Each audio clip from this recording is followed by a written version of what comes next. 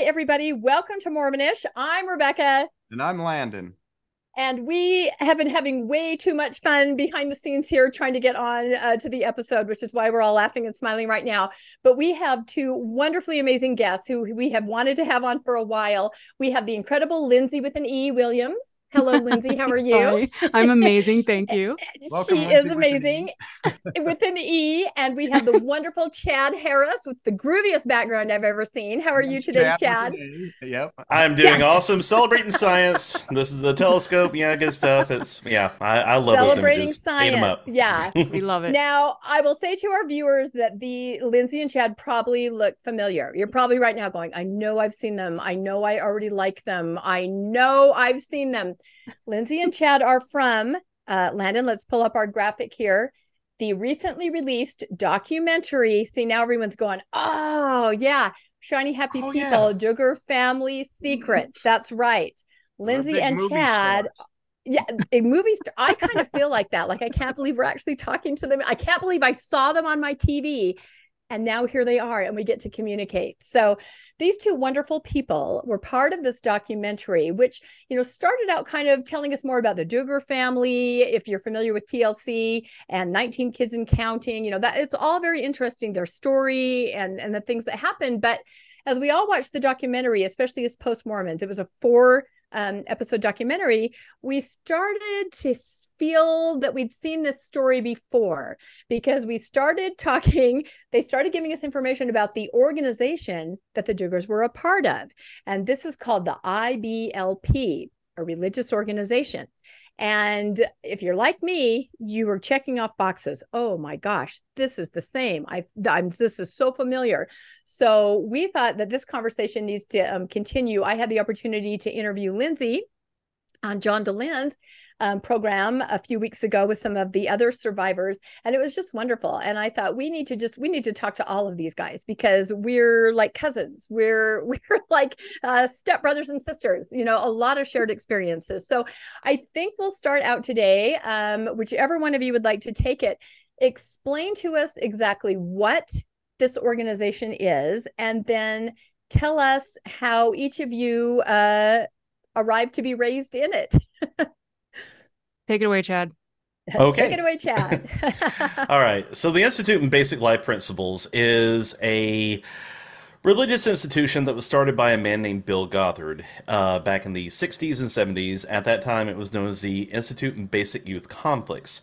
Uh, Gothard used uh, the uh, Institute as a bit of a platform for his message that the reason America was having all sorts of societal upheavals in the 60s and 70s wasn't because of longstanding, you know, civil rights issues or issues with feminism uh, or the lack thereof. It was about authority. You know, America needed to go back to, you know, making authority front and center. And so from there, he expanded uh, his reach as his audiences grew. He took a little traveling seminar with him all over the country. As his audiences grew, he expanded that into what was what became known as the Institute in Basic Life Principles, which branched out into several different areas, uh, a lot of areas of influence in the uh, American evangelical uh, community as a whole, but most notably, and this is where Lindsey and I come in, uh, a homeschooling branch known as the Advanced Training Institute of America, or ATIA. And that was simply a a little bit of a grift for uh, Bill Gothard to get his uh, teachings into people's homes directly and to have children homeschooled, which in the 80s and 90s was a pretty radical concept. Um, he- was uh, getting uh, children homeschooled in his teachings from birth, which you know had authority as the base, but all also a whole bunch of other teachings that were very uh, authoritarian based and very um, had a lot of ties to shame and a lot of ties to uh, well what essentially was religious and emotional abuse and there were lofty goals as i said you know in the trailer and the documentary world do- domination was the goal uh, we were taught you don't get much that- more lofty than that. pretty much I mean, Yeah. pretty much. Gothard taught parents that their children would learn enough from this institute and from the uh, Advanced Training Institute to become the next generation of Christian Marines, as it were, to uh, bring a wave of uh, religious revival into America and thereby change the world for Jesus. And my folks brought bought into that. Uh, they bought into the Quiverful movement, which was very closely related to uh, ATI, in which parents were challenged to have as many children as possible. Uh, they were first convinced into that, and then from there, they were convinced to go into the uh, ATI homeschooling program themselves when I was about seven years old. And from age seven until I graduated high school, I was a part of these teachings, and I deeply regret ever having been part of it because uh, it, it was, in fact, I experienced a lot of abuse physical, emotional, spiritual, and what have you. And I've spent pretty much my, half my adult life uh, telling people about the institute, what its goals are, and how it needs to stop. Wow, having a lot of kids, that's craziness you're talking there. yeah, no, we it is so funny. I didn't even think about this parallel in teaching. Um, there's there's a concept in Mormonism where, you know, we've been saved to these last days. We are the ones mm. that are going to make this happen. We are going to usher in the dispensation of Christ. And they've been telling people that the last days have been pretty much for the last couple hundred years, but this concept that you are so special and your children children are so special, the spirits that you bring to earth, and you have this incredible purpose. You're beyond any other human being. So, and, and to have as many children as possible for that reason. The righteous generation, we have songs about it. We, you know, all that. We have kids that march around singing songs like that. It's so similar. Ugh. So, and, Lindsey, and, tell us how. Oh, go ahead, Landon. I was going to say, now you just realize that it was really how they get you know more people into the program obviously yeah. the more kids you have the more homeschooling you need and in in our church uh, the the more tithe payers the more missionaries you have the more people yeah. you have as if if the people have more kids so yeah it's definitely yeah the more people more. the further the reach yep. yep. That is a great way to say it. Yes. So, mm-hmm. Lindsey, now tell us your experience because you, your family, you were not born into it, you joined. Is that right? Mm-hmm. Yep. My family joined in, I was eight years old in 1986. Uh, my belief at this point is that my parents were already they were already attending seminars in like 84 85 like they already knew it was like ibyc and then it became iblp but it was an institute in basic youth conflicts because bill started it out with like uh, prison systems and young people and you know uh, like what do you call it like just youth groups and stuff at churches and things like that. And so like inner city kids and things like that. So it did morph into iblp the institute in basic life principles because that's easy for everybody. It's basic. And so i've always found some of his wording to be so odd and yet it rolls off the tongue so easily you don't realize kind of like so it, underneath the institute in basic life principles he had two seminars the basic seminar and the advanced seminar I mean, it's so simplistic. And yet you're like, oh, I'm going to the advanced seminar. And you're just like, okay, words. Um, so anyway, he for my family, that's how my parents started going to the basic and advanced seminars. And even at that younger age, my parents were already starting to take things kind of away from me because they would go to these seminars, learn more about how to be more godly and more restrictive because, you know, the world bad, Christians good. So uh, things were just getting very quickly kind of like removed. Like you can't play with these toys anymore. You can't have these TV shows. Oh, the, the TV gets wheeled out of the house. Like any kind of entertainment or anything like that is gone. And the kind of friends you can have, they're starting to really question it at the age of eight. They're questioning who my friends are. You're like, wow, okay. Um, anyway, so then they got into the homeschooling program as well. I know that they wanted to get in earlier, but um, I think we were just really young. I don't think they were quite ready yet. And honestly, the the program, the Advanced Training Institute homeschooling program, started only two years prior. So we were getting in at like year three, I think, is when we got involved. But it, getting in like the grassroots movement on something i don't always think is the best idea especially when it's educational curriculum for your children. Um, so i went from public school in third grade i was pulled out and put into the homeschooling program and that's where the line in the documentary where i'm like what in the honky tonk is going on here? Because like we were in our basement and we had like milk cartons stacked on top of each other with like a press board and some contact paper on it and that was my desk. And we're like sitting in the basement i'm just like this is not normal. Like this is not how this should. Be because you had been in regular school, right? You I knew. Had, you I were old enough to understand. Go. I know how. I know, and that's the difference there. Um, yes. I think, like Landon and I were raised in it so but i was much like you and mormons there's there's different levels my parents were sure. very orthodox we did not have tv you know it mm-hmm. was that we didn't have tv and you know definitely the control over you know what you read or what you learned that kind of thing and especially at church too i remember going to a young women, young men activity, and we were supposed to bring our records that might be satanic Oh, and, and yeah. burn actually a, a fire. Yes, Yes. this was in the 80s. yes. For those of our viewers in Mormonish that says, oh, that doesn't happen. In the 70s and 80s, this did happen. I have been to a bonfire. So Oh yeah, it was just a this idea- bonfires were a big deal. Yeah, Yeah. bonfires were huge. and it Yes, was I that remember rooting them. out the evil in a very Yeah. dramatic way. Did you, Chad? Did you ever ha- have anything you had to burn? Please tell me you had bonfires, Chad. Oh, oh quite a few. good, Yes, A- anything that was remotely considered to be demonic, and everything was somehow had a nexus to demon activity or Satan. D- Uh, I'll give you one. Yeah. Oh, Disney Brandon? films. Yeah. Yeah, Disney films were interesting. Uh, yeah, because I had an older brother who was a golden child. He was allowed to keep most of his, but there were a few that didn't feed the fire. I will say one thing that you know probably um, not a lot of people experience in their lives, but in a lot of uh, ATI and IBLP homes, they did was Calvin and Hobbes comics. Oh yeah. Um, they they believed that Hobbes, since he was a stuffed tiger who would only, uh, you know, be real or you know appear to be real whenever uh, Calvin's parents weren't around, was indicative of a demon that circumvented parental authority and Mhm. influenced children to do evil. So uh, they literally burned all the Calvin and Hobbes comic books I had as a kid, and because I, you know, I was still around when um, when they were in the paper, they would staple paper over the comics on Sundays and everything, so I could not read them. Oh, So- wow. That was that was the extent of it. They they went all out. yeah. were your parents what- were your did they encourage stay-at-home moms or how, how Yes. were your parents there then that they could just take this over and do this Uh, Well, they- well, yeah. uh, Go ahead, Chad. Go ahead. Yeah, my dad, uh, and this was actually covered in one of their um, one of their uh, financial uh, books uh, called the Men's Manual, um, which you know men were supposed to you know run the homes and run the finances and everything. Of course. And a big, se- yeah, exactly, and a big We're the same. section, and a big section of uh, of the men's manual was warnings on uh, what happens when a woman works outside the home, and men were absolutely directly encouraged, you know, to keep their wives at home uh, and all their um, all their female assigned female at birth uh, family members home. Um, their daughters basically were not allowed to seek employment outside the house. They had to wait until you know they were married, and they would you know stay in the home until you know the right uh, man came along, quote unquote, to uh, court them and such. So it was very male centric, very patriarchal.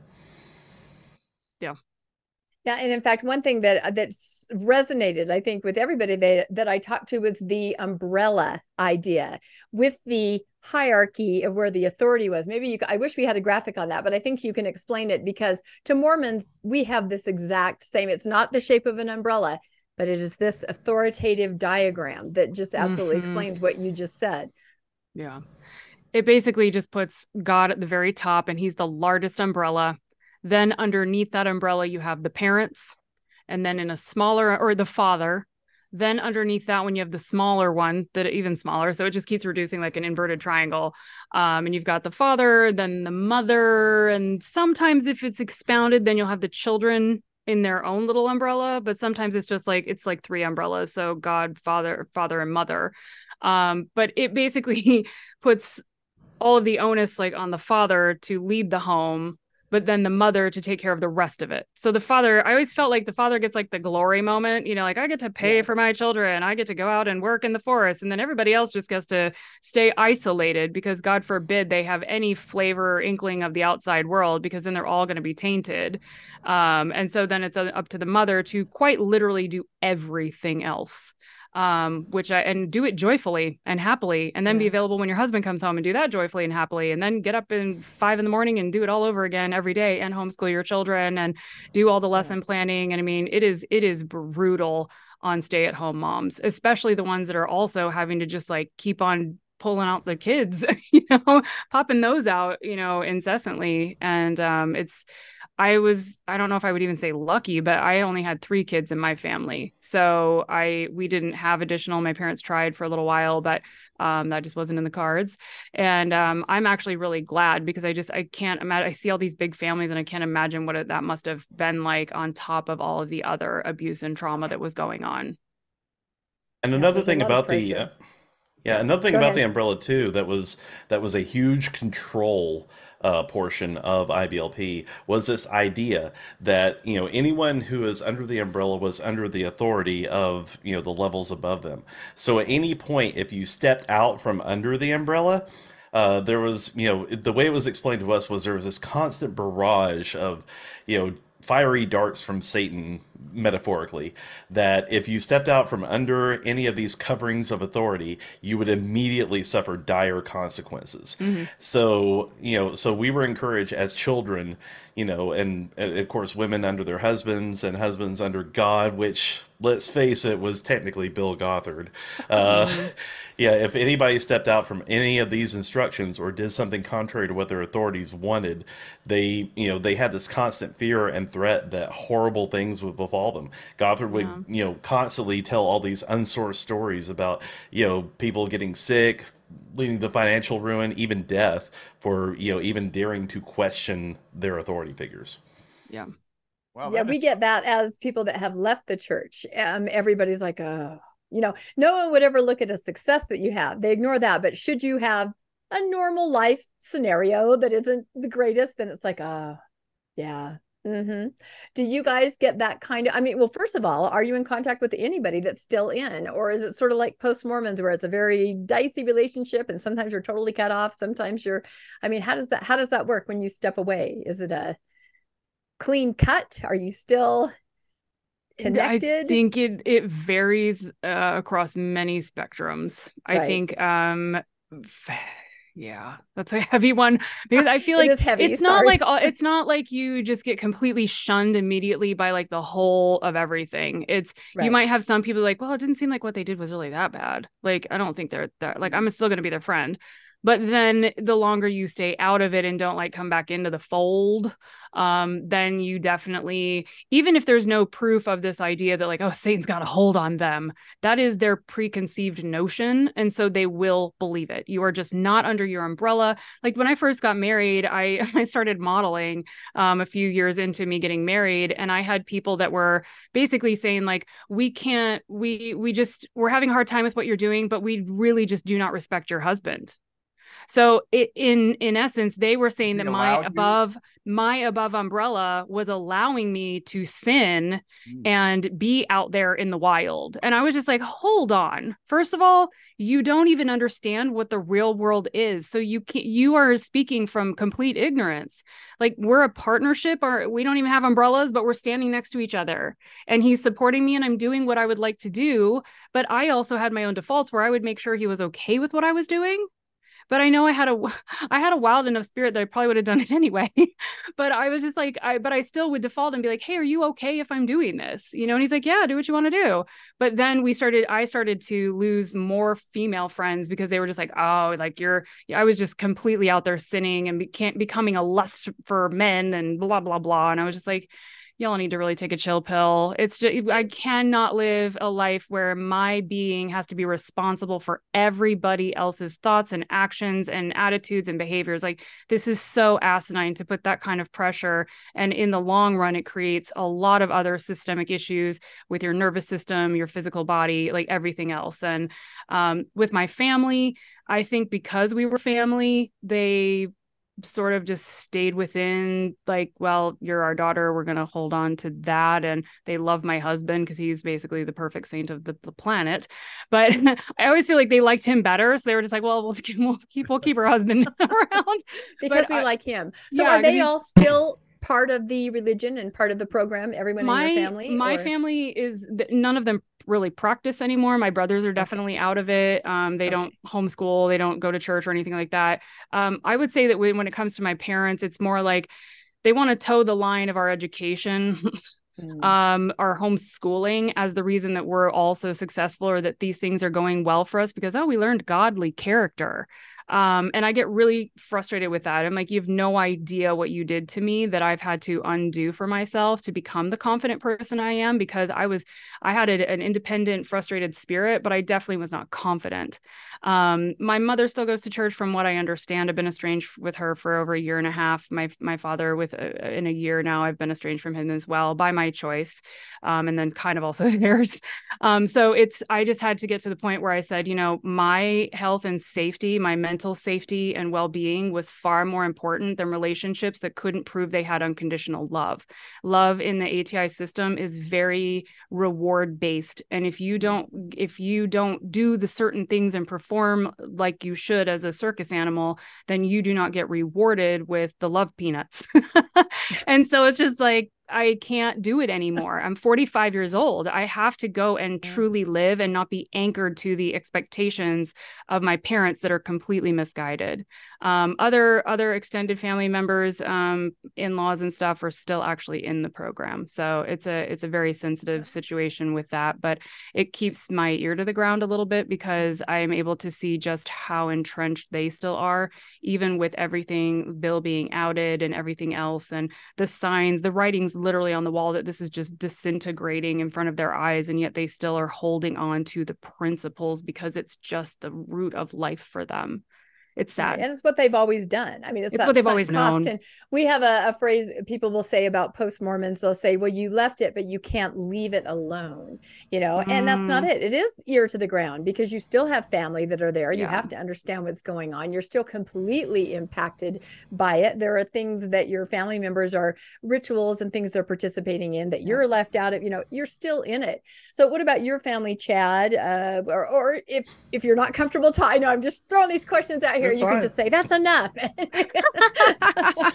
no, seriously, reclaiming my time. I know. I don't want to get anybody, you know, any hate mail or anything. So no, it's fine. Uh, yeah, my family, um, yeah, they also are not part of IBLP now, but they're very sympathetic for the most part to IBLP and refuse to uh, consider it in anything but a positive light. Now, IBLP spanned across Christian denominations. There wasn't really one church uh, that you could really say that this was tied to. There were Presbyterians, there were Baptists, there were Mennonites involved, Brethren, you name it. Now, uh, for my part, my dad was an independent fundamental Baptist preacher. And um, the Independent Fundamental Baptist Church, you know, is very compatible with uh, IBLP because of a lot of, you know, their shared teachings and views on authority. So my folks are still very much involved in the IFB Church, which you know if to really dig into one aspect of fundamentalism and to figure out why it's wrong kind of brings down the entire house of cards and my family for the most part won't do that. And as for you know a lot of the friends i grew up with and people who are still involved in the ifb church I'm pretty sure my face is on several wanted posters in the IFB church uh, across the country. So, uh, yeah, the, we just do not have contact for everyone's safety. You are on every prayer bulletin. have you seen this man? Please help him. That's right. There you go. Even if you haven't, pray for this guy. I mean, IBLP is on my wanted poster, so you know we're even. It's fair. only fair. Oh my gosh, Landon, I think you had a question. Sorry, I was cutting you, cutting my feed was cutting in and out.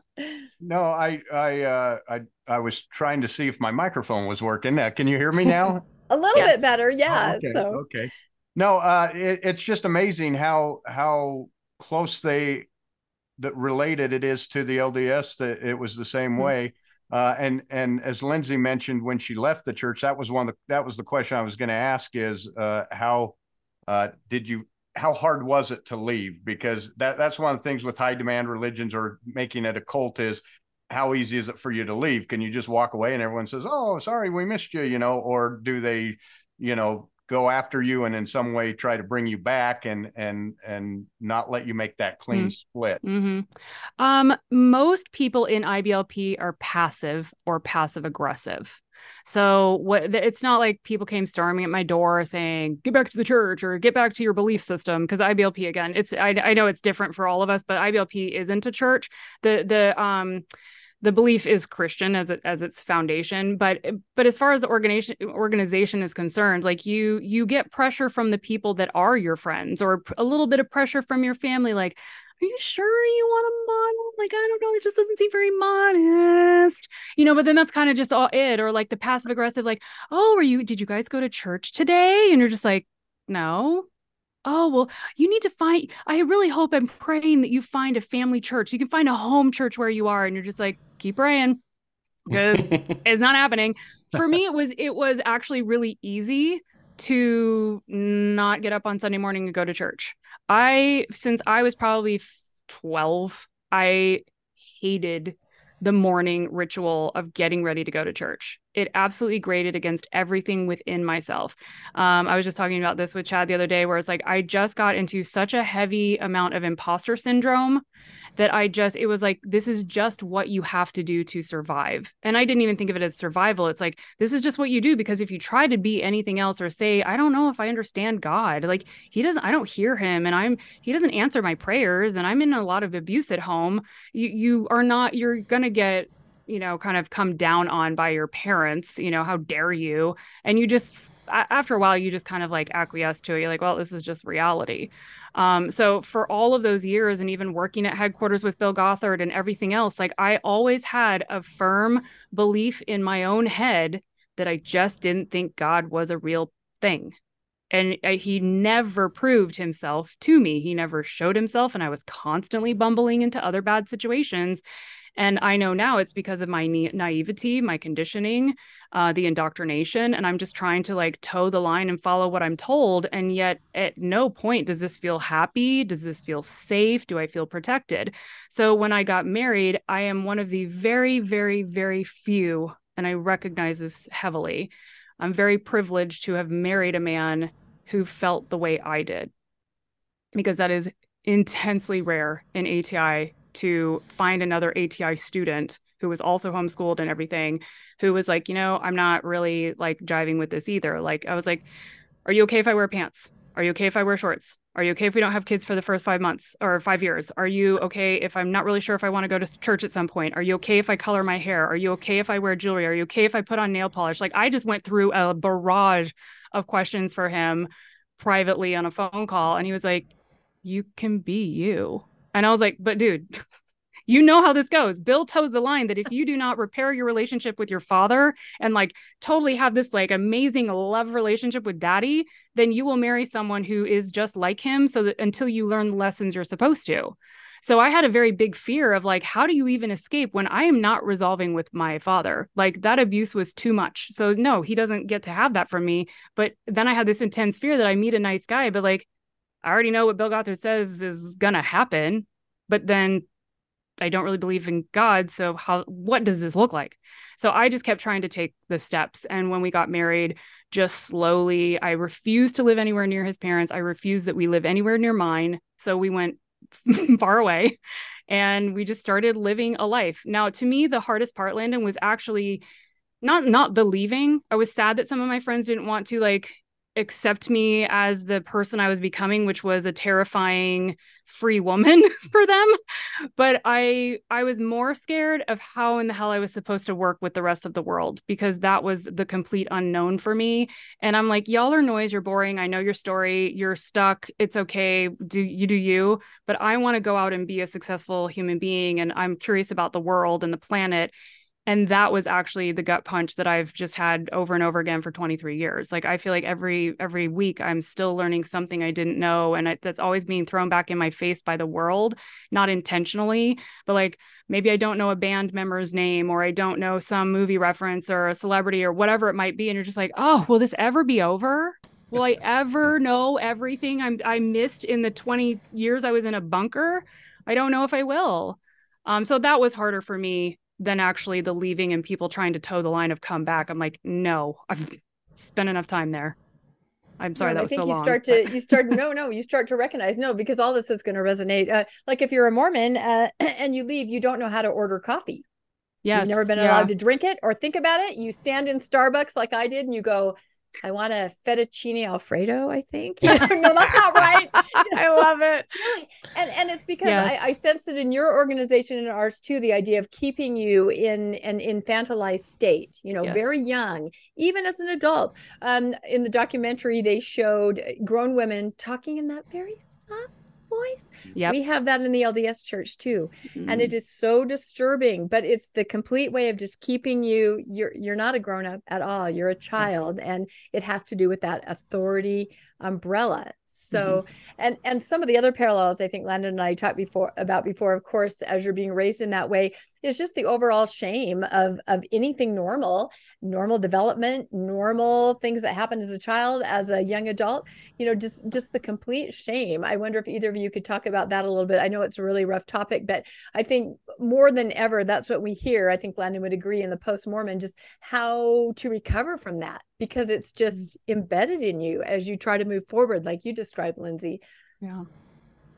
Chad so, you know, being a preacher's kid on top of being an IBLP, uh, shame was something that was just part of day to day life for me.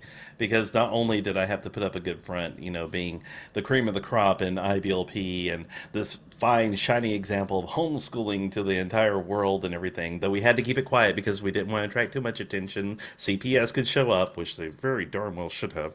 Um, so yeah you, had to be a good example but you also had to be very quiet you know about what exactly you were doing and you had to know who to play what in front of whom and also you had to be really good in front of everybody in the church otherwise dad could lose his job and have to go uh, work at walmart and you don't want to have to split a mcdonald's hamburger four ways do you as uh, with the rest of your family no you don't okay like all this is put on you like my dad literally told me that his livelihood depended on my behavior wow. and i learned very quickly um, early on on that I didn't share any of those developmental concerns or anything that uh, made me scared or frightened or anything that didn't make sense to me because whatever I told dad could be a sermon illustration next week. It happened several times. So, um, so, so I know that's not typical for everyone who is an IBLP, but I do feel like there's a bit of a common thread to that because, you know, children's lives were meant to be used as an example in front of other people. And I'm sure, you know, those of you who have seen Shiny Happy People, you know, the documentary, you saw that poor young kid who, you know, in the yellow shirt who went up and did that demonstration on stage of, you know, spanking. And that was the part in the documentary where I literally had to, you know, I was uh, with our friend Heather Heath, and I said, "We got to stop." I said, "We got to stop. We got to. I need to recover from this for a second because that was too real." Um, yeah, stuff like that. Just it, you know, really hammered home to me in that moment that we as children were we were just display items. We were not people. Uh, we were there to show the world, you know, what ideal behavior could be. Uh, you saw Josie Duggar, the youngest uh, Duggar kid, you know, just uh, barely able to talk, just chanting that whole line about how instant obedience to the initial promptings of God's Spirit a two year old doesn't know what that means and yet she's you know shouting at the top of her lungs. Stuff like that you know the idea was complete compliance complete obedience and this image of perfection that you had to maintain at all times when you're a child. Children are not known for perfection and for a good reason. One of the things that really was freeing to me in my own development and in my own coming out of uh, fundamentalism was the first time I talked to a counselor and I must have been about 25 26 years old when I when I first started uh, seeking help for my mental health. Uh, she told me she said look human brains don't really reach full maturity until about your mid 20s so you're about there. And I was like wait a minute. I said that's not what I was taught. Bill Gothard taught that uh, adolescence was a myth um, Bill Gothard taught that you basically had to be a mature person by the time you were 13. So you're telling me that you know almost twice that is is how long it takes uh, for, for you to actually get a sense of yourself and everything. She said, "Yeah, that's just science. You know, we can prove this. There have been studies." And it really hit me in that moment. I was like, wait a minute. I was demanded all that, and I physically could not do that, physically, mentally, and otherwise. And that's when things really started to become clearer that I needed help and I never got that help. I was always expected to just know things and and and, present that to others. And allowing myself to be human and to make the make mistakes and i still struggle with this to this day like my therapist who i just talked to a couple hours ago she will tell you that you know perfectionism and driving to you know always yeah. be at the top of your game are two things i struggle with but um, realizing that you know what we were told was the ideal and what we were told was the expected baseline was just too much for our developing young bodies and minds, uh, that was a huge moment of healing for me personally. I'm so glad that you found someone to talk to because sometimes people on the other side of high demand, high control uh, can't find somebody that understands, right, what it means. It, and I just thought of another parallel, Landon, based on what, what Chad just said. In our church, uh, even eight year olds, seven year olds, they're called young men and young women. Yep. That's how they're addressed. Young women, you know, young men. That they're doing exactly what they did to you. You're not a young man. You're not a young woman. You're a kid. You're a kid. So well, how old are the, are the ones y'all called elders in Mormonism? Yeah, exactly. You know, that's the thing. It's all, all that hierarchy. No, that that just struck me right there. So wow, that is incredible. That is just something else. And so with the idea of shame and then of course you have um, what we call in our uh, religion a purity culture i'm sure mm-hmm. you understand what that is lindsey especially yep, for the girls and the guys mm-hmm. where you know like you say being on display means you got to you got to be doing it right you got to dress right you got to act right and especially for girls lindsey why don't you tell us a little bit about what that yeah. was like i'm assuming it's extremely similar and our viewers and listeners can really relate yeah, I'm sure that it is. It's and it, and it's it's laid upon you at a very young age. I was saying mm-hmm. to someone recently because I do. Do you guys do purity rings, courtship rings, promise rings, any of that kind of thing? Kind called of... emblems of belonging, which are like okay. necklaces and rings and things as you make you know promises to be good as you get older, that kind okay. of a thing. So got you. Eh, okay, I know. Couldn't well, in weirder, right? within well says we, the cult to the another weird cult. exactly.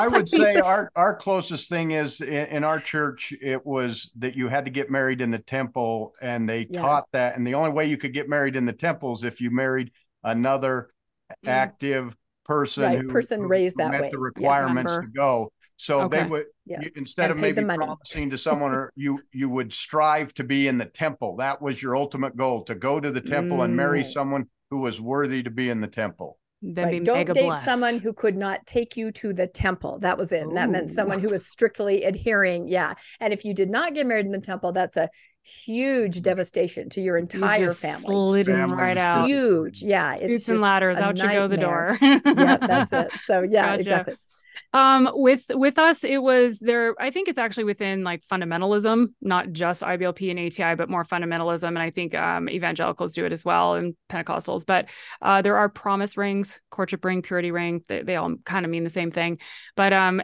I, and I was saying the other day and i know it's a little crude so hopefully i'm not triggering anybody but i feel like when you're as a girl the second you're given a training bra the purity ring shows up and you are pretty instantly like out goes your innocence out goes your childhood and in comes all of the sandbag weight on your shoulders of your body's about to destroy all men.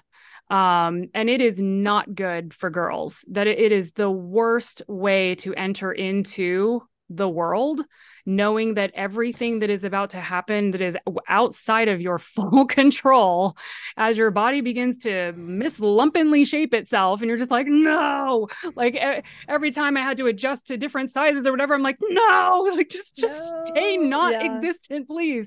Um you're going to be a problem for me. Um but the purity ring gets slapped on you and the purity ring or promise ring courtship ring is a promise between you and your father that you will allow him to hold on to your heart which again just like grosses me out. But he will hold on to your heart and your feelings because women are emotional and you're a you're becoming a, a woman I hate, again it was like even the word woman for decades even now still i'm like i don't like the word because it was very weaponized in a way. Like now this is going to put you in a box you are woman and everything you do you have to be aware that it will cause men to lust or stumble or have all these issues about you. So you're just like a walking caution cone of issues and you your clothes have to be a certain way your hair has to be a certain way. You can't really wear makeup but hey if you have acne cover that up please you know or if you're a little more unfortunate maybe you should wear some rouge. Like it was very weird how things would flex as far as your actual physical beauty and appearance.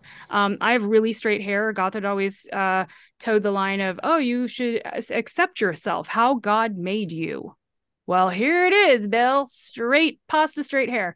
But he wanted it to be curly and 1980s fabulous. He liked the and, curly hair. Yeah, For those so, of you that have seen the documentary, that was we were the godly like, oomph, as I call it. godly, jacket to Jesus. oh, yeah, jacket to Jesus. Boom, boom, boom.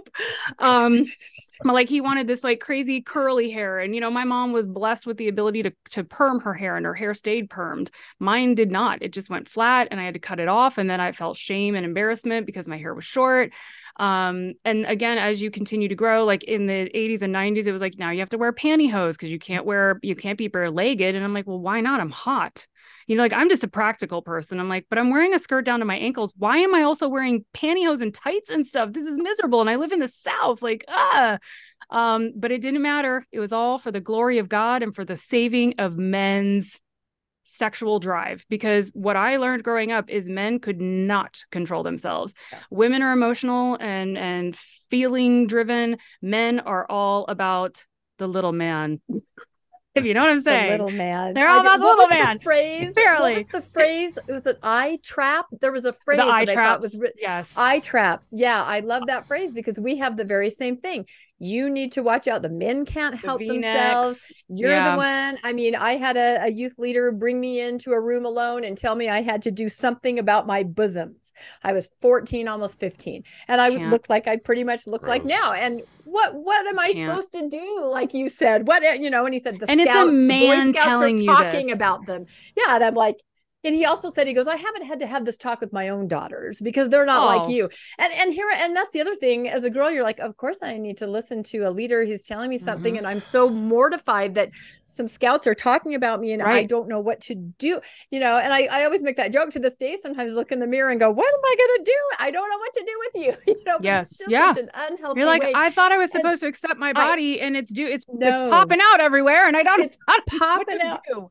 popping you know, out everywhere like, it creates a really really bad um viewpoint of your body too like you yes. get body shaming in yes. in in your own mind um like i I hate oh it was so much I won't go into it all but I I feel like for as as people got older especially as women got older like you're I know a lot of women and when I say women I mean like teenagers and 20 year olds but like these girls where they're like curving their shoulders forward to reduce their chest they're tucking their butt yeah. under so that that's not mm-hmm. sticking out because that's just how yeah. their back sways um and then you're trying to wear like the the biggest potato tent skirt you can so that no one sees that you're like pear shaped or whatever whatever it might yeah. be or if you're a stick and you have absolutely nothing nothing. Like that for me was everything. I just wanted to be as flat as i could and right. it created a very bad food eating system for me. I, I didn't become bulimic thank goodness. I didn't like actually get a disorder of any kind but it was everything in my mind. And it wasn't because i wanted to like look great. I wanted to not be looked at Exactly. Um, invisible. And so you want to disappear. Yeah, That's exactly it. Because you yeah. can't win. You're just being you, and someone's telling you, take care of those, get rid of that. So, yeah. and then I never really thought about it. I thought it from the girl's point of view a lot, but then I started thinking about the guy's point of view. Yeah. Being raised like that as a male, Chad.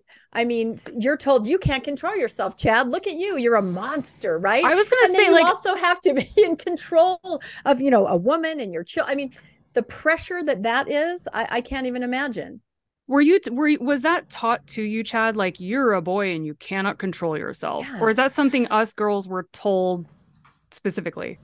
Yeah well it was it was a mixture of both. And you know i, I do want to all always like to preface this by saying that you know nothing i'm about to say should ever take away from the fact that this you know cult was specifically designed to target women and to uh, and to exploit them and to you know specifically harm them. So what I'm about to say is not oh you know we guys had it much worse or as bad. That was never the case, you know. But we still were hurt by this because Gothard poisoned everything. Yeah. So in, in, in my experience, what I was taught, and I'll never forget this. Um, this was during uh, my session of Alert Cadet which was, if you remember from the documentary, Alert was basically Gothard's military cosplay that he would have young men in the cult do. And we had like a junior version of that for some of the seminars that we attended. And this is in Knoxville, 1997. Uh, if you didn't notice about me, I'm not the athletic sort. Okay, like I've never have been. I've always had bad knees, even as a child. I was never the outdoorsy type, not very athletically inclined. And so when I'm out there in a little military uniform, getting screamed at by a bunch of uh, you know older teenage boys, you know cosplaying Marines and everything, being told I had to do obstacle courses, double time march, do push-ups every time I screwed up, you know, it was miserable, and I failed at everything I did. So midway through this, it was a three day course. The second day was my birthday, specifically my 12th birthday. My dad took me out. Uh, he skipped a couple of sessions in the afternoon. He took me out to uh, have ice cream there in Knoxville. And I remember him saying, you know, two things in particular. First of all, that the reason I was failing at Alert Cadet was he hadn't trained me to be a man. And he said, This is important. He said, The reason you're failing is you know, I failed to, you know, bring you into manhood, into spiritual manhood. And if you were more spiritually inclined, if you're stronger in your faith, you would be able to do all these things. He said, because the day will come when, you know, people might show up at your house in guns demanding to know who's a Christian and what are you going to do then? You know, you and your family. so, exactly. Kind of like, so, the, you know, the pilot dies and you take over the plane. Someone shows up and with a gun and says, "Are you Christian?" yeah, exactly. It's extreme, yeah. but what about with that? That's what we were yeah, told. No, it's gonna happen. Yeah. Wow. The second thing we the second thing he told me, and this is you know we were walking through the mall as we were having this conversation there locally. We walked past the Victoria's Secret display, and Dad looks at me and he says, "Now, son." You know, um, you're getting older now, and eh, you know you may start to feel certain urges, or may start to feel a certain way to look at things you're not supposed to. And if you're ever tempted to do that, let me know. If I'm ever tempted to do that, I'll let you know. How about that?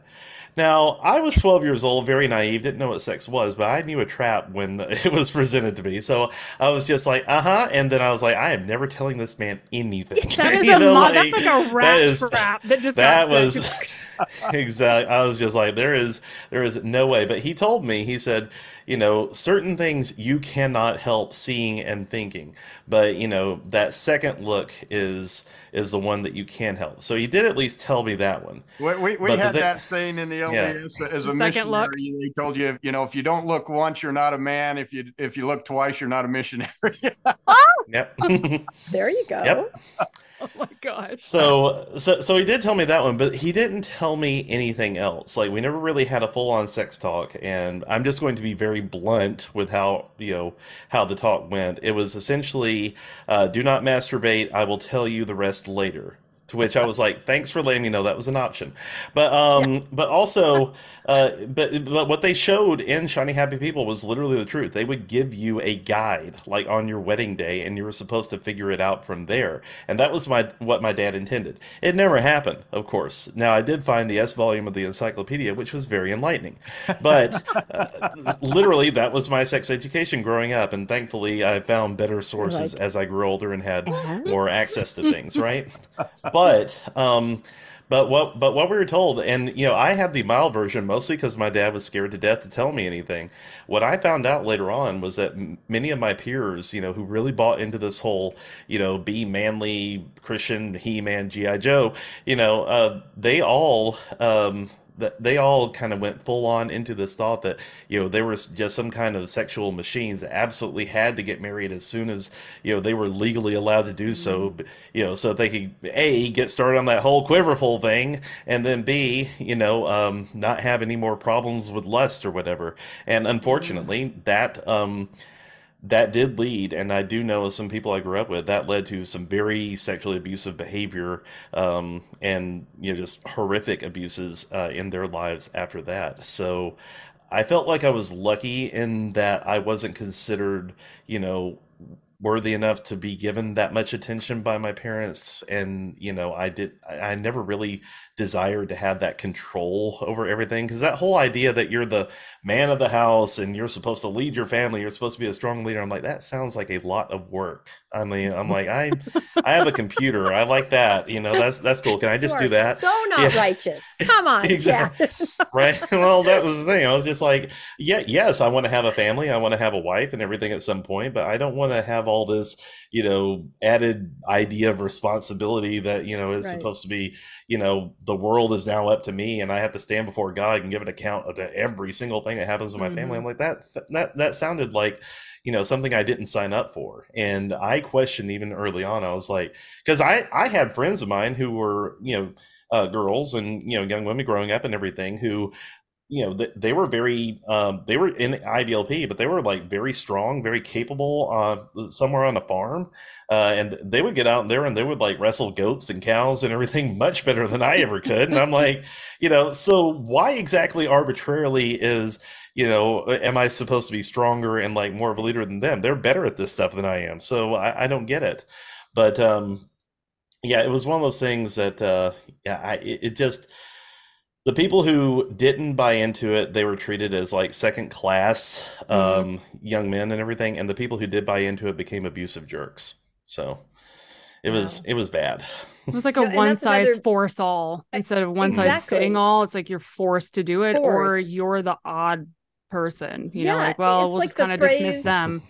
The phrase that I also picked up out of the documentary is when you talked about or performing your gender, meaning Yeah. exactly Mhm. kind of what you said. You may be able to wrestle a goat, but you can't. You got to stand on that umbrella underneath this other person who doesn't even necessarily want to be there. So it does. It Mhm. makes it a very sexist. You know, perf- I love that phrase, perform your gender, because we have that too from very young on. We have songs that make sure the girls understand they're going to be a mommy. The dad, the boys understand Yep. they're going to hold a briefcase. You know, it's very uh performative like that. So don't you agree, Yeah. Landon? I mean, you probably remember that too. It's Oh yeah, With- even with the absolutely. You had your gender roles, and there was no Yeah. deviating from them. Uh, even Mm-mm. still today in the church, uh, you, you know, they're it's not eternal, we're told. They're That's right. eternal. Like there's Yeah. no changing. You were that way before you were born, you're that way now, and you will be that way again. You no deviation whatsoever. And Yeah, it's sad part- because why try? Yeah. For whoever you are. Yeah. I mean, that's how I felt. I'm like, then why try? Why am I gonna Yeah. fight it? Why I mean, I still couldn't help it sometimes. I had a willful spirit, but like why why try? why bother? Because like you you've already told me exactly what my whole future is. Like I was asked recently, Yeah. did I did I dream daydream a lot as a kid? And I'm like, are you kidding? I already why torture myself? Like I think from like the age of 8 I was a realist. I'm like, why am I going to torture myself with the thought of like having like a really cool place to live or going overseas and going to cool beaches like no, I was going to have Yeah. to get married to someone I probably didn't like, deal with all the grown up stuff that somehow makes a baby. I don't know how that works. And then I'm going to have to homeschool kids, which I don't even like being homeschooled. So I'm going to have to do it for them. And ew. And then what? Now I'm like a spiritual old lady that sits at church where all the young ones come and talk to me. I'm like, woo. My life was not That's going it. to be exciting at all. It was mapped out. There was no could dreaming. from the beginning. So nope. Yeah. Oh, there was no dreaming. Oh, maybe I didn't dream. The title of the episode, Landon. I there know was it's sad, no but dreaming. Poignant. There were no dreaming. There were no. well and then and then of course the part that really resonated although this is the darker side of it you know you talk about all the shame and the focus on your bodies and then you know eh, what we saw in the documentary is what happens in the LDS church we have one-on-one interviews with men as young Mhm. people and that's as disturbing for boys as girls and i've told the story before that when i was 12 again they're obsessed with masturbation and you know they asked me do you do that i don't know what that is and i was kind of like ah so they had to tell me what it was so i could tell them if i did it or not you know went home to the dictionary not encyclopedia tried to look you know everything up about it but you know just these very invasive very inappropriate, Inappropriate. very damaging you know Yeah. and you lindsey had some experiences that were even more extreme than that with with leadership uh, and Yeah. so inappropriate i don't know if you want to in Yeah. general talk about that or but that i think resonated with with a lot of uh, post-mormons because a lot of us just that culture where you stop and drop and talk to any leader at any given Yeah. time in a closed room you have to say everything you would never dream not they can ask you anything Mhm. a- and, Yeah. that's just what you do you don't know any other way and that leads to terrible abuses It's conditioned compliance. Yes. Mm-hmm. And you don't, you just, you just simply know this is where Mhm. I have to be honest. I can't really lie, although I definitely hold fast to women, especially in IBLP, became master manipulators pretty quickly. I think even even the children, no matter your gender, like we became manipulators. Like Chad was saying, like I realized right then and there, I'm not going to confide in dad when I have weird thoughts. You know, like I this whole like promising my heart to my father, and if there was a kid in church, like I remember one of the very first kids, I was like, oh is this I like I didn't know it was a crush, but I'm like, oh, I really like him. Um, his name was Patrick. and I was like, oh, Patrick. You know, I think I was maybe 10, 11, maybe. But even that, I was like, I am not going to tell my dad, like, hey, I like kind of like Patrick because I didn't know what would happen with that. Would I get spanked when I got home? Would I get a two hour talk of purity and and not get all the information still? Because I always you could always tell when the parents were holding back stuff or they were getting weird about telling you anything that should be normal. Our bodies are normal and they do things. They're function. It's science. They function in in weird ways and they can be really fun, but not right now. Like I just can only imagine what I would have said to children if I had had kids, like what I would have said to them as they're growing up. And I don't know why our parents became so like all thumbs about it. Like, oh, no, no, have, have, have sex talk. You're just like, it's not that hard. You do it all the time. So like figure, figure it. Especially if you're quiverful. Right, Oh, exactly. goodness. All the time, right? That's the weird juxtaposition, right? The shame, the Yeah. purity, and yet do this all the time. Oh my God, it's such a hot mess. Exactly. Ugh. So there's no boundary. There's no boundary to them demanding stuff of you, but you have all the boundaries around yourself. So you can't even, I'm sure, as a guy, even say, like, hey, my body's being weird when I wake up in the morning. Like, you probably would never even say that to your father because you're like, my dad's going to think I'm sinning, you know? And then for girls, we are totally different, as most people know.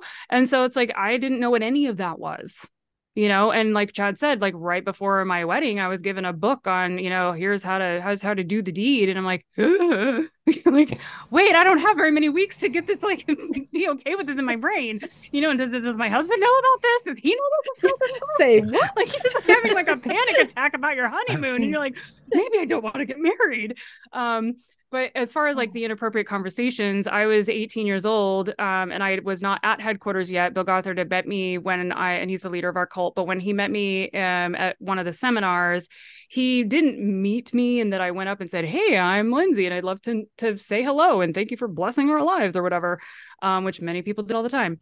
But uh, he saw me in a breakfast room and came across the room to me and basically it was like, "Well, so good to meet you, and I would love for you to come and have a meeting with me at, at, my office later." And um, so you know, I get to his office, and his assistant is sitting over in the corner, male assistant, and he he talks about a few things. What's your birth order? Like all the regular weird social things we do within our system. Like, what's your birth order? What's your spiritual gift? And how long have you been in ATI? And how many basic and advanced seminars have you gone to? And how many children's institute have you taught? Did you go to Excel? It's like just da da da da da and then like and are you promised to anybody? And i'm like um there is a guy back home that's 35 and he's been wanting to court me for over a year now. And he's like oh oh no. And i'm thinking yeah i know. But he was like oh no we're gonna have to we're gonna have to get rid of that. And i'm thinking yeah because i didn't really want to marry the guy either but i didn't have any other way out so of course I'm kind of like, well, whatever dad wants to do, but I hope he'll hurry up because I would just like life to happen to myself and sitting and rotting at home and taking care of my brothers is really freaking boring at this point and I'm just bored. Um so I was willing to marry this guy thinking, "Oh, at least it would be a new life." Isn't that that's horrible. At 17 to 18 years old that I'm thinking like this is my freedom and my outlet and I'm really grateful because I just actually yesterday saw where this guy is at and what he's up to and I'm like oh my gosh, did I dodge a bullet? So huge. Um, anyway, so then Bill's like, well, you're gonna have to let go of him and release him. And I was like, how do I release him? I'm not even dating him. We're not courting, nothing. He's talking to my dad, but you need to release him emotionally because, according to Bill, I had emotionally entwined this man into like I was the seductress and emotion because I have power over emotion and apparently physically. I have all the wicked witch powers. And so I had like brought him in emotionally. And so I had to emotionally release him. So that was mm. going to require a phone call from me. And then the next question was, well, are you a virgin? Which I think his assumption mm. was maybe that I was sleeping with this 35 year old, but I was like, And you were 17 and he I was, was, 35? I was 18. Yeah. Well, when he Even started, so, those I was Mormon 17, numbers. he was 35. No, no, no. yeah. Those are those are those are not cool numbers. Even when I became 35 and I was like 17 year olds, what? like, no, this They is a very so different young. perspective. Yeah. Yeah. very different perspective. But I was also forced to age into adulthood at 13. So there, there's a part of me that says, you know what? Uh, Like, yes, it was wrong. I am not validating what he was doing, but I can see where that maturity level, and I'm already conditioned to obedience and compliance and joyfully being me. I can see how I was like a freaking firefly to people like, ooh, she's so primed for being the perfect candidate for my wife. Like, I don't even have to teach her anything. She already knows how to do it all.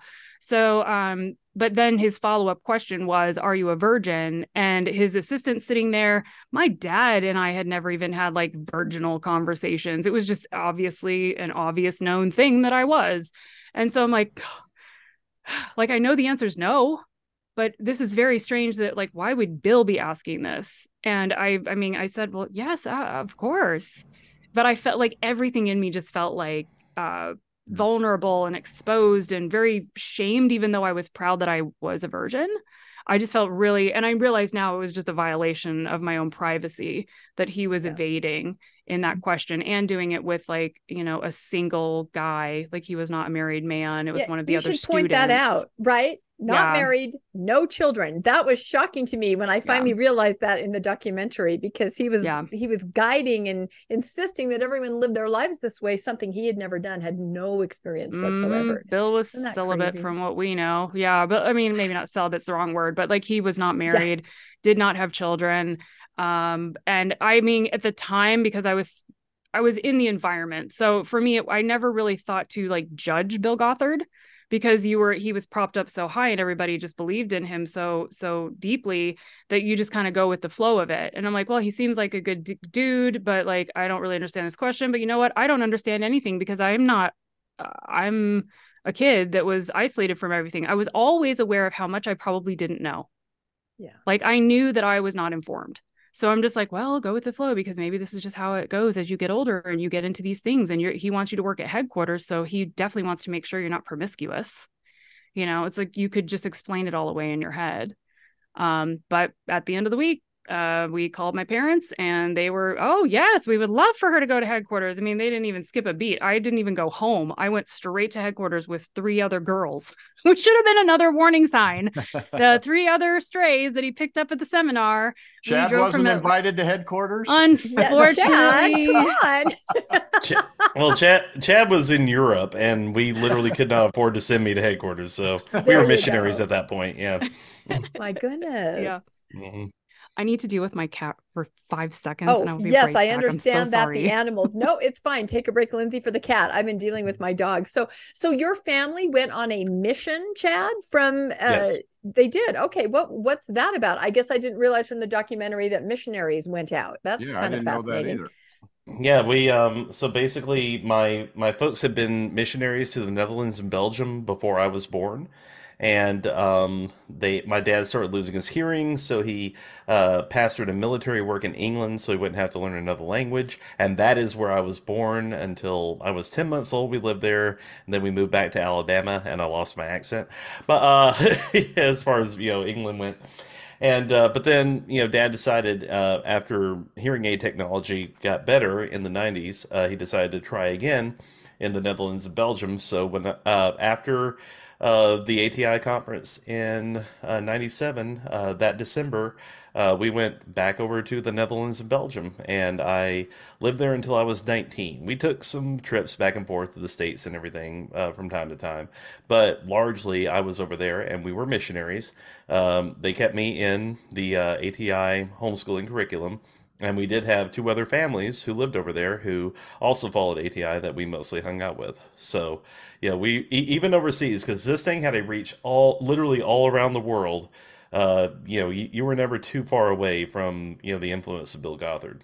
How, how does that work? Who paid for the mission? Did did your dad get paid to be there? In, in Mormondom, you don't get paid for a mission; you pay your own way. Pay for Um, your own. Yeah. So, uh, did you get paid, or your dad get Yeah. paid? And and is it the church or IBLP or who? Well, this was actually more of a more of an artifact of the uh, Independent Fundamental Baptist Church. So the way it works in the IFB, like if it were the Southern Baptist Convention, you would most likely get paid by the convention itself after you're approved to be a missionary. But in the uh, Independent Fundamental Baptist Church, you had to go to church to church around the country and you know you know, get them to pledge, say like anywhere from fifteen to hundred dollars a month from that church to support you on the mission field. And once you had enough, you would go over and you would live uh, overseas in the mission field and try to start churches. That was that was my dad's plan. He wanted to start independent fundamental Baptist churches in the Netherlands and Belgium, which went about as well as you think it would. American fundamentalism does not play well in Europe. I'm just saying, especially in two of the most affluent countries in the world. Yeah, exactly. I, I figured y'all did. right? They're just like, no, we're not going to do this. So, yeah. or even if they that, do go to church, they don't do that. You know, yeah, I'm not going to do that. That's exactly right. You know, one part of the documentary I found fascinating, and we didn't have a chance to talk about it when we were on Mormon Stories, is the whole concept of the Christian activism. Like yep. that is huge. The the mm-hmm. children are being homeschooled to be Christian act. I mean, talk a yes. little bit about that. I think that is maybe one of the more disturbing parts as you see what their really what their agenda really is. And social so, media is making it so much easier for that outreach too. Yeah. Go ahead. Yeah. I was saying that that Joshua generation that they talked about, I was briefly part of that. Uh, and you know, I think it's important to also clarify because they didn't have a lot of time in that episode. But it's also important to clarify that the Joshua generation was just one avenue that you know people who grew up in IBLP and in Christian homeschooling in general had to try to influence the government. There were several, but that was one of the more popular ones. So the idea, IBLP's idea would that would be that you would go and you know try to get a further education by working for them at their training centers or at headquarters. But there were other uh, institutions like Patrick Henry College in Purcellville, Virginia, that was a college that was started specifically for Christian homeschoolers. They only had one major, government, and you would go there and they would you know try to indoctrinate you into their idea of constitutional law and and you know how to be a political activist how to run for office and stuff and then they would place you uh, working at, at Capitol Hill as staffers in some of these uh, uh, politicians' uh, offices and stuff, and it was very effective. Uh, like they said, um, Madison Cawthorn, uh, he was probably one of the uh, biggest products of that entire movement. Uh, mm-hmm. Uh, Joshua Generation encompassed Patrick Henry College and a few other, you know, uh, side groups and everything, but they were all united in this vision that they would flood uh, Washington with all these young homeschooled minds.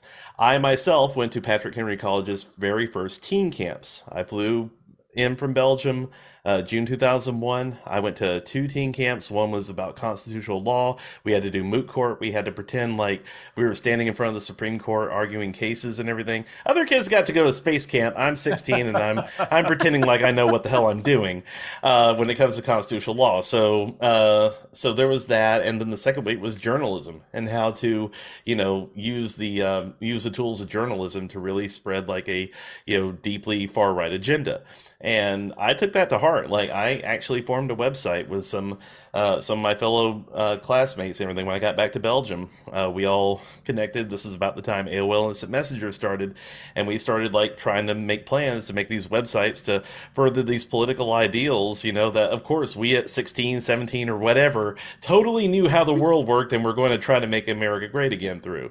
So that was um, that was the stated goal. Like those of us who grew up thinking that we were going to change the world for Jesus thought that we saw, you know, these opportunities come up specifically for us, and oh, it must be God's will because it's all falling into place.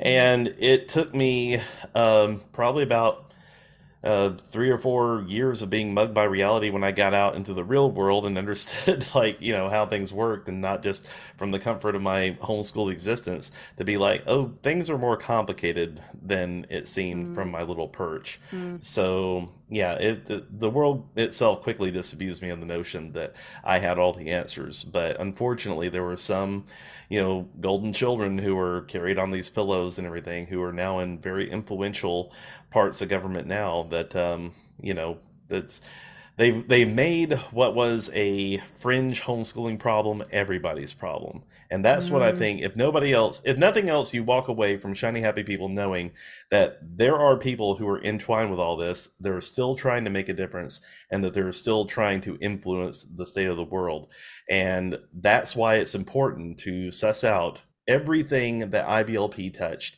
and everything that this brand of fundamentalism had an influence over and rid ourselves of it once and for all that's yep. like a mic drop. Do you have a mic that you can just drop right now and just sound? It, it would make some noise if I dropped that. like boom. No, that's why I found that so fascinating. I mean, did they were the girls, Lindsey, also equally like encouraged to go out? I remember there was one scene, I can't remember which of which of you it was, where it showed, you know, you were sent out to Capitol Hill to just kind of like follow uh, leadership around and say, "Hey, vote this way," or you know, and they're like, "Oh, what a nice young woman! Look, you're so knowledgeable and you're dressed, you know, so yeah, that's a good question. And... Since you were supposed to stay under the umbrella, were you allowed to be a page or to be in the in that same... my my viewpoint on it first of all i am not joshua generation because i got I, I, mean i'm much older than the joshua generation and i was removed in 2000 is when i got married and i really left the system if you will. So even for me i'd heard of the joshua generation and then seeing it in the documentary i was like oh yeah no that tracks. I see i i didn't know that was the name of all these people but i've been you know seeing all these little critters out here trying to do all this stuff but um, I think for for women in the way that in the 80s and 90s, yeah, you're very right. Like our place was at home, and if you were a woman in IBLP and ATI, then you were learning the womanly arts. You were going to learn how to cook and sew and uh, teaching the children. Your probably parentification is thrust on you, and so you're you're watching all the children your mother is having because you know she doesn't have time. She's continuing to pop out babies and please the father and so that if you were lucky enough like myself where I didn't have younger kids at home, um, the only way with an ATI that you could go and do something as a woman is if it was within the ministry. Like that seemed to be the only way that Bill was like, it's okay if you're a young lady in the ministry, but I don't want you working anywhere else. Mm-hmm. So, you know, again, he fit the rules to to bless him. And so I that's how I got to work at headquarters because by all accounts, by his words and all, all the things I knew at that point, you should just be at home waiting for, you know, Prince Charming to show up.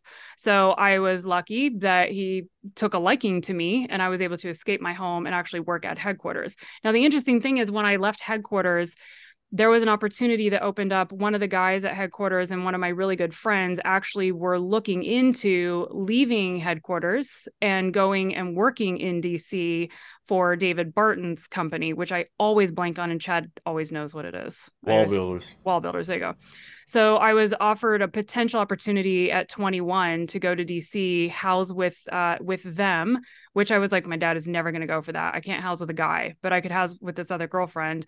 And sure enough, my dad's reply was, "You have many more years of service for the Lord."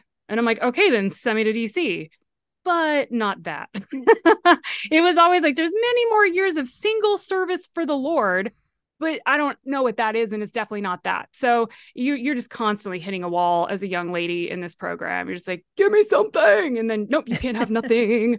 Um, so I think that as into the 2000s and like 20 aughts, 20 teens, I started noticing that like even with the Duggar family, like the girls do not wear skirts down to their ankles. I would have been completely whipped if I had worn a skirt to my knee like when I when I when I started like do not watch the show, but someone was like, "Oh, you should peek in because I, I really actually think that this is how you were raised." And I watched like I don't know five seconds of it. I'm like, "No, no, no, no, no. I've been here, done this, lived it."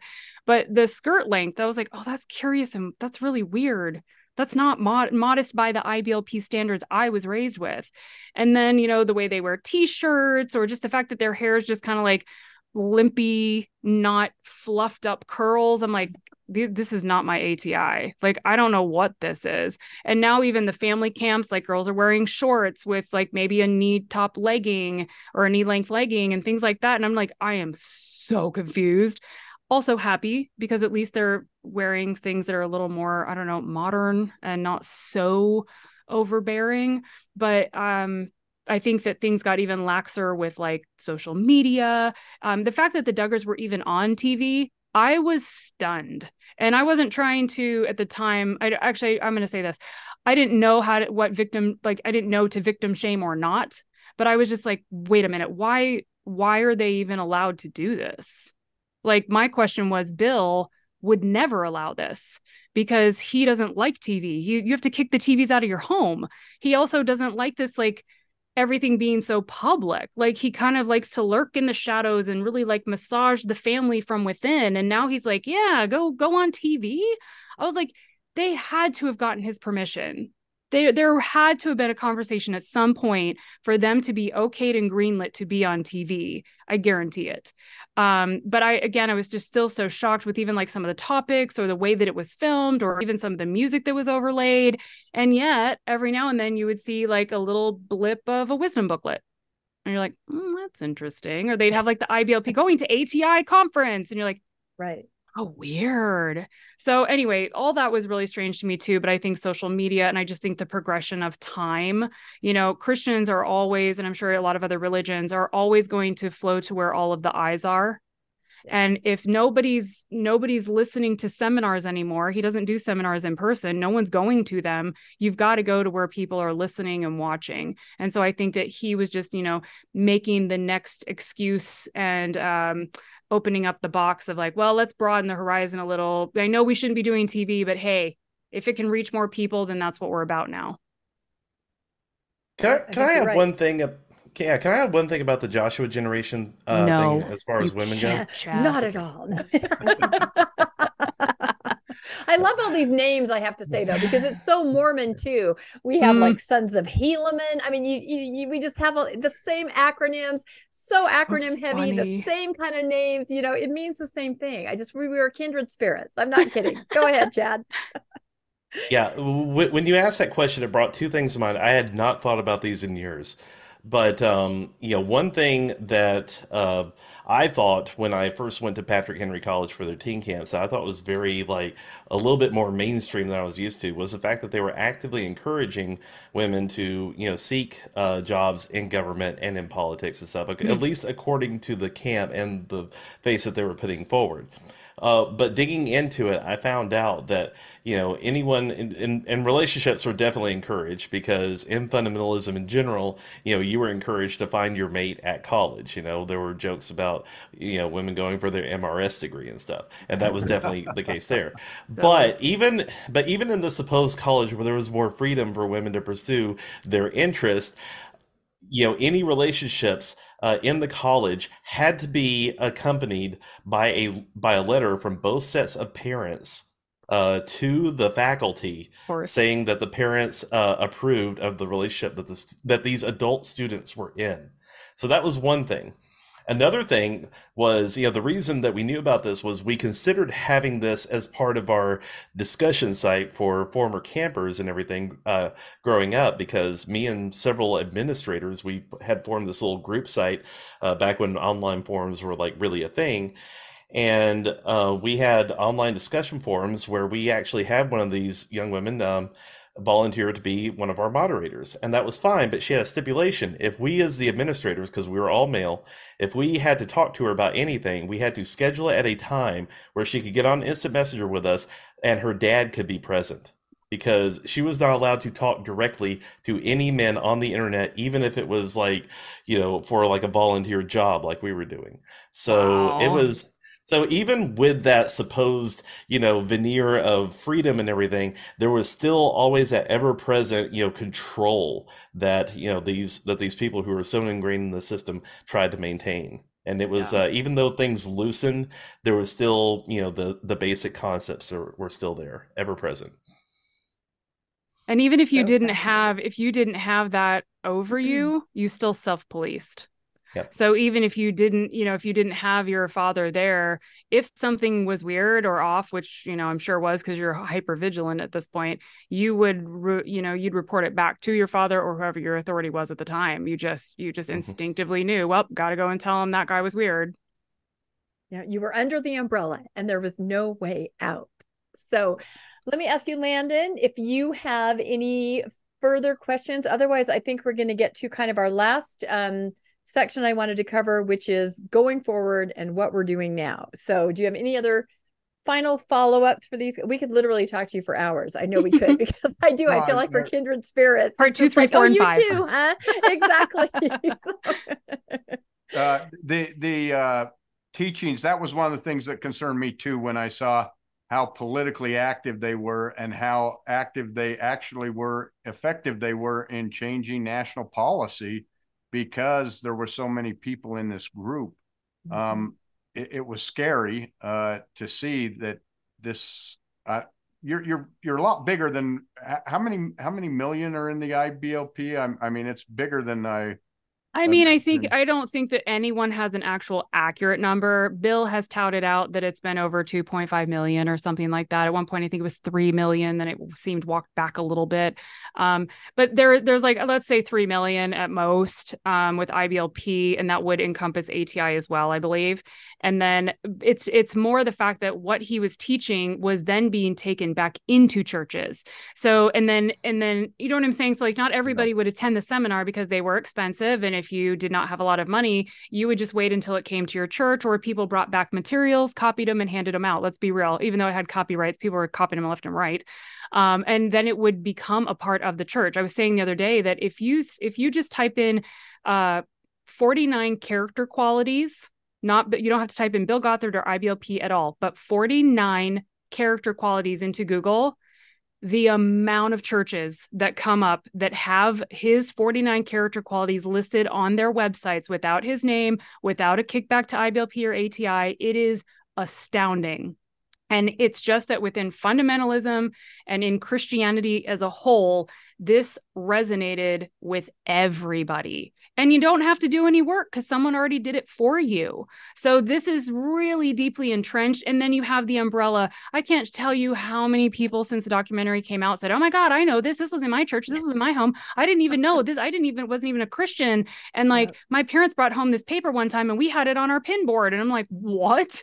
You know, so it really had, it just, it, I think it took a lot of hold because it was patriarchal and it gave yeah. parents their authority back and like kids sit and submit. And then the church got their power back because, like, look, I can just point to this and this is godly. But where is the reference point for this at all? Where's the grace in it? Where is the understanding? Where's the support system? Like, it's just freaking umbrellas, for goodness sake.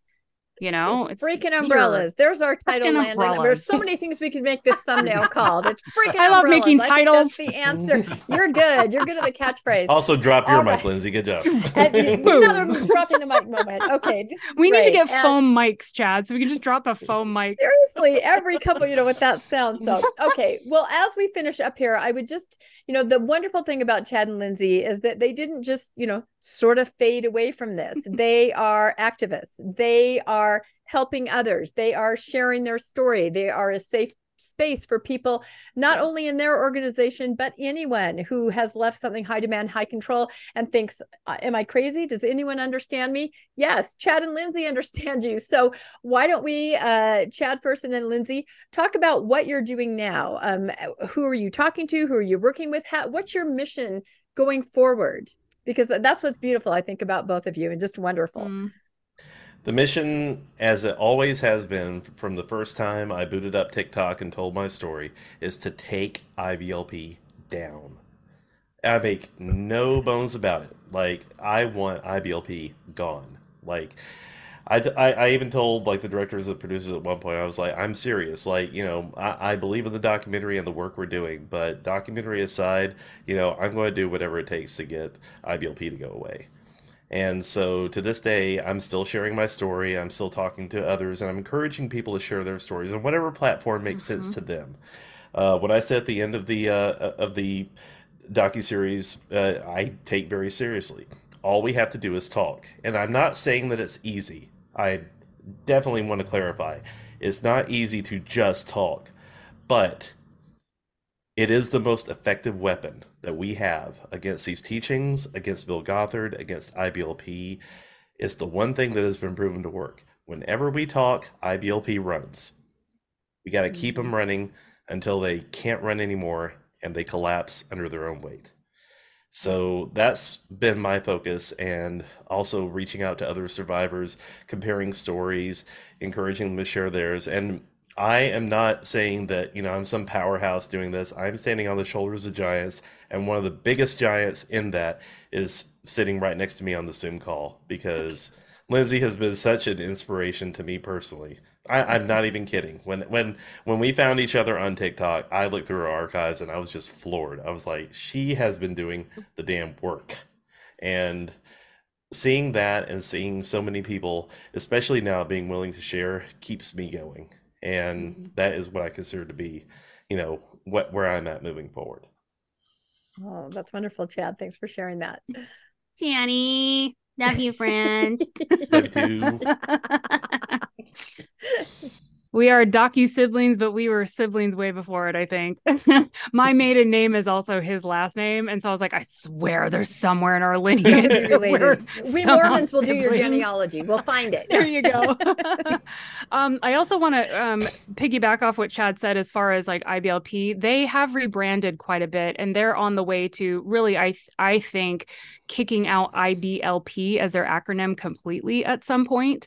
They are now known as the Home Discipleship Network and then they have founding faith something or others. Um, all you have to do if you're not sure if it smells a little funny first of all you can just send it to Chad or I and we'll let you know if it's iblp or not. But if you scroll to the very bottom of the websites you might see like a ministry of iblp like and it's usually like just a slight contrast to the color right behind it. You know it's like it's black but then it's kind of grayish.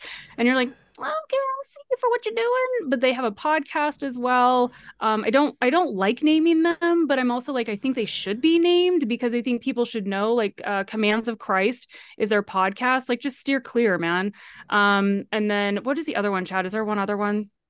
I think it's just home uh, oh embassy media is oh, the yeah. other one that they have and that's where all of their videos and stuff are um, and then i think on the home discipleship network is where when they do their family camps they actually do them they'll stream them live out there as well um, which i watched the last um, one that they did for an entire week chad and i were texting back and forth as we're like being completely traumatized and shocked by the stuff that's being said now um, it's even worse, like 10 times worse what these people are saying. It's, I even, I, I couldn't believe how on the floor my jaw was. I'm like, I cannot go any further than the floor. Um, but as far as um, what I'm doing now, I first would just say therapy, therapy, and more yes. therapy trauma informed therapy, not just talk therapy, family therapy, BetterHelp. Sorry, guys, BetterHelp is not the help uh, that you need. Sorry, BetterHelp. But um, you need to be with trauma informed therapists. And I know for some people that are still in religions, they want to find a therapist that is within their religion, especially within Christianity. They want Christian counselors. And I'm just here to tell you Christian counselors do not have a degree. Christian counselor, I could be a Christian counselor today. Chad could be a Christian counselor. There is no barrier to entry to, to Christian counseling. You know the Bible, you know some information, you're an inspirational human being, you're a Christian counselor.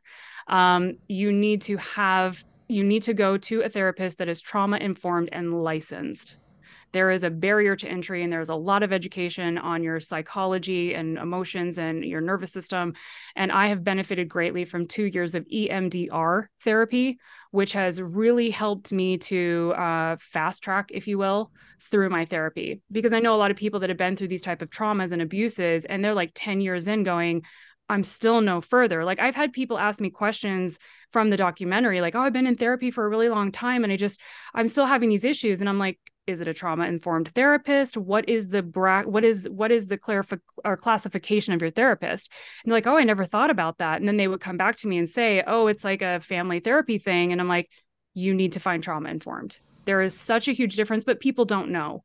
Um, and then for me with anxiety i have a lot of anxiety obviously from high performance and perfectionism and all this kind of stuff uh, thrust on me. I use a breathing necklace which i know in the documentary everybody thought was a vibrator it is not a vibrator. We were hoping. no. It, I know everybody was, and I'm like, no vibrating shame, but I do not have the balls to do that. I'm just telling you, literally, I don't. That's but reclaiming not... it if you're wearing your vibrator around your neck. I mean, that's like it's just, me, ah, me roar. But it's a breathing tool, and then I have I have these guys as well, which are um they're bracelets that do haptics back and forth so if you've ever done EMDR therapy, which incorporates bilateral tapping movements or eye mov- movements, um, that bilateral tapping will allow your brain to stay in a neutral space instead of hitting fight, flight, freeze, or fawn. So you're able to go back into the traumatic memories and work through them without them triggering a shutdown response. Now,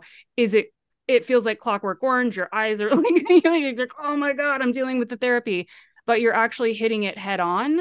And I'm telling you, I have had some really hard sessions. Maybe, maybe one situation takes me three weeks, you know, one therapy session a, week, but like will take me three or four weeks to get through. But when I'm done, I'm actually done.